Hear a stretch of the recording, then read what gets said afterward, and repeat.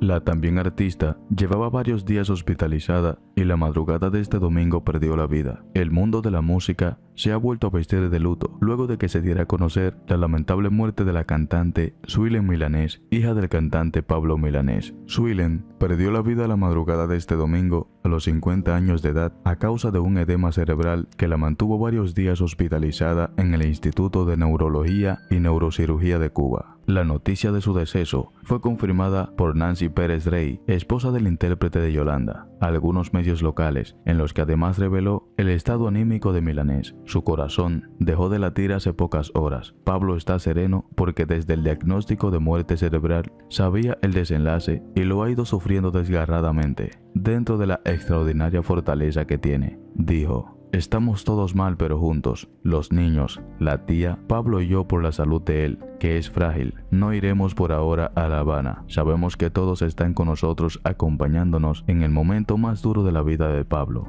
agregó Pérez Rey. De acuerdo con las declaraciones que los familiares realizaron a medios cubanos, los médicos de Suilen le habían diagnosticado severas afectaciones tras el accidente cerebrovascular. Incluso existía la posibilidad de que el daño fuera daño irreversible.